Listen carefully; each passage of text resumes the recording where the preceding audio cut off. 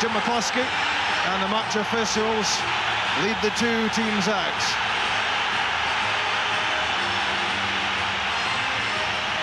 Barry Ferguson back after injury. Andrew Kanchelskis is left out. Neil McCann alongside Rod Wallace as the match gets underway. It's not quite win or bust for Celtic, but it's not far short. Failure to win for them tonight will leave them with so much to do if they're to catch up.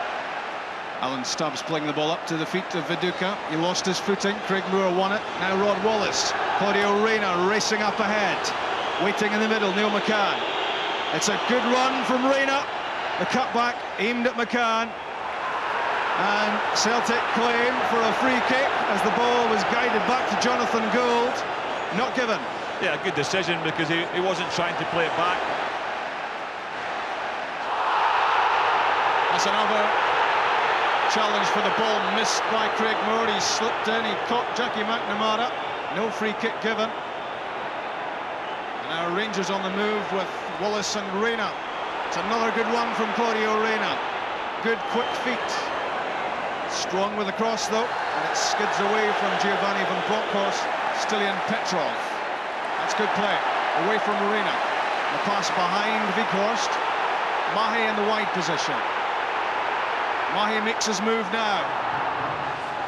It's for Viduka! Brilliant save by Stefan Klos. Viduka was sure he'd opened the scoring. It was a golden opportunity. Albertz trying to thread that one through for Van Bronckhorst. It was well cut out by Petrov, who's off and running. Wants it back from Mark Viduka. He's away from Amoruso. Another chance, goes a begging for Celtic. Celtic missed their chance at the weekend to close the gap. Uh, Rangers having drawn with St Johnstone at Ibrox on Saturday. Rangers lost to Hib. Celtic lost to Hibs, I should say, on Sunday. Here comes Amoruso. But Wieghorst was there to cut out any trouble. A long ball from Mahe. Craig Moore got the shout from Stefan Klos and let the ball skid through. That's well won by Jackie McNamara against Van Bronckhorst. Past Barry Ferguson too. And the cutback falls between Moravcik and Viduka. Reyna. Van Bronckhorst looking for assistance. Arthur Numan knocks it inside Mjällby. And Bronckhorst has it. Early ball in. Neil McCann almost there. Neil McCann beaten by Mjällby again.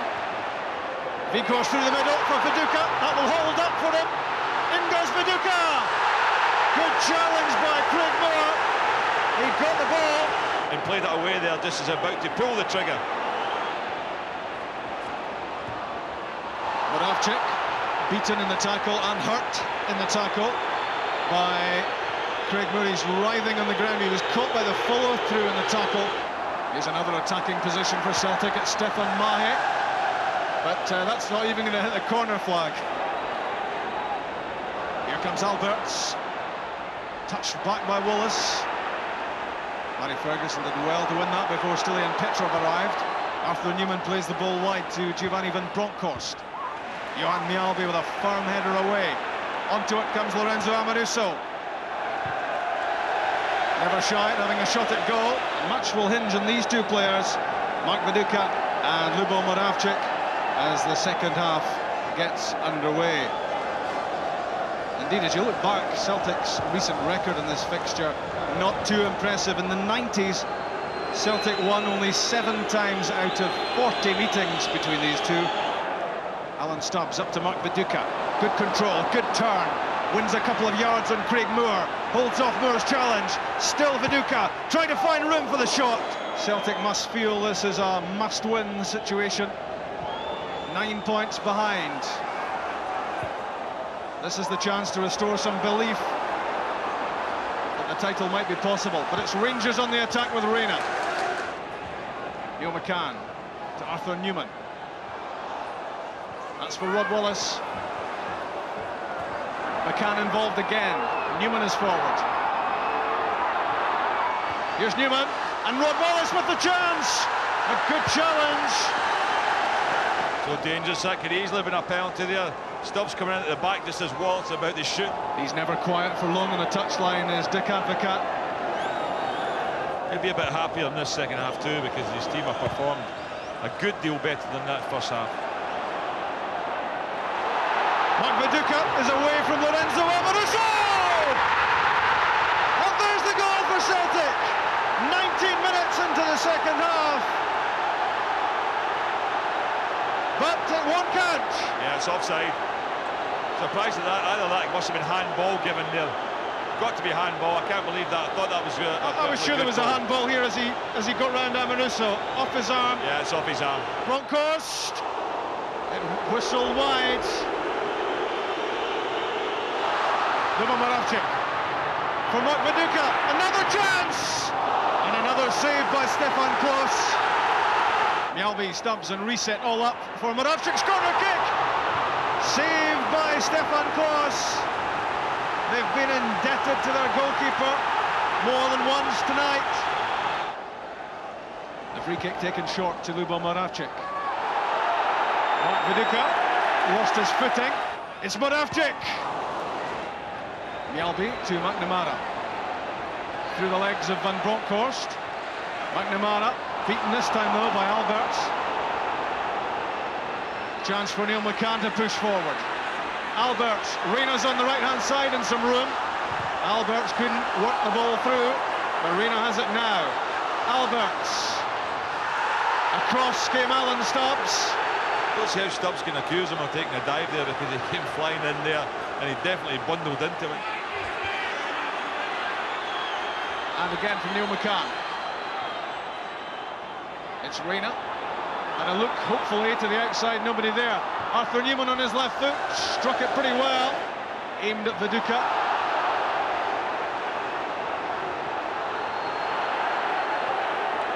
Throw in given, despite the bodies tumbling on the touchline. Albertz with the header. Rangers have a chance. Van Bronckhorst, Neil McCann makes the angle run.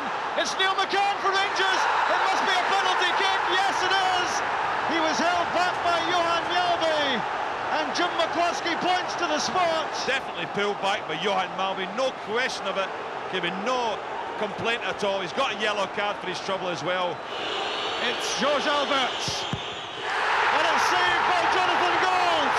Fantastic save. He's chosen the right side. You can see how happy he was with that. Dick Advocaat will be livid with that opportunity for Rangers to snatch the points. They will believe, they have to believe, that they can still catch Rangers in the title race. A let off from Mjällby, certainly he's made another mistake. Lost possession. Again, it's McCann. Now Van Bronckhorst. McCann again. He's made a good run. It's Neil McCann. The shot slips wide. And less than five minutes of this match to go. Stoppage time, of course, to be added.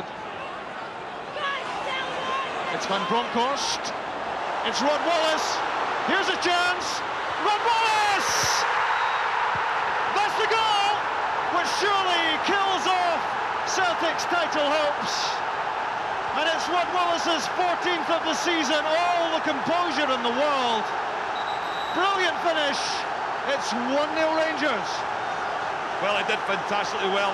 Uh, credit to Dick Advocaat for leaving him, leaving him on the field. He's in a quiet second half, but this is brilliant football because he gets a pass here, he peels wide, the go for offside, doesn't get it. You can see how Mahe dives in the challenge here. Gould comes out, Mahe's there, trying to support, stop him getting the goal, and he scored it. Watch this little run here. Just stays onside, the ball's played.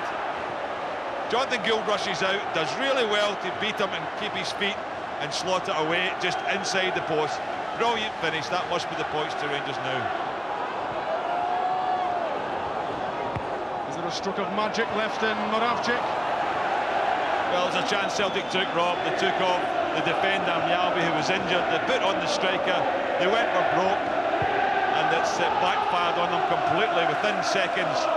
Losing that goal. Great work from Rod Wallace, having Rangers having missed a penalty. Mark Burchill against Lorenzo Amoruso. In from Moravcik. It's the nightmare scenario for Celtic. Just what they didn't want.